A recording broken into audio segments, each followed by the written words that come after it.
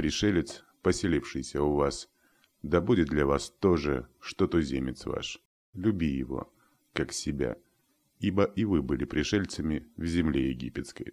Ветхий Завет, Левит 19.34 Почти каждое утро ты просыпаешься и идешь на работу. По чистым улицам. Садишься в чистый автобус. Едешь в чистом вагоне метро. Ты приходишь в свой чистый офис и начинаешь заниматься любимым делом. Ты не думаешь о тех, кто приводит в порядок город, пока ты спишь. Да тебе и не интересно думать о них.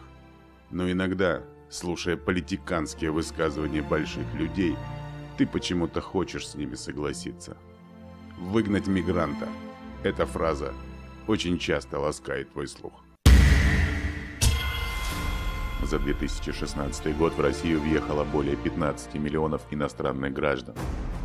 Ты думаешь, они приехали за хорошей жизнью?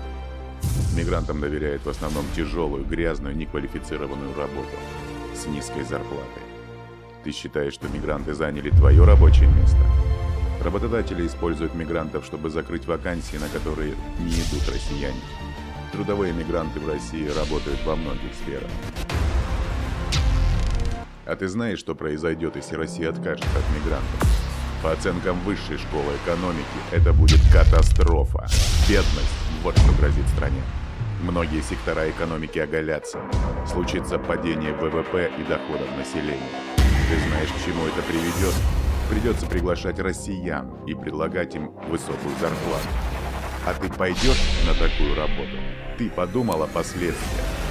Повышение стоимости товаров, падение покупательской способности, падение прибыли, задержки и невыплаты зарплат, сокращение штатов, банкротство. Ты хорошо подумал, желая выгнать их из страны. Эксперты утверждают, сейчас отказываться от труда мигрантов нельзя.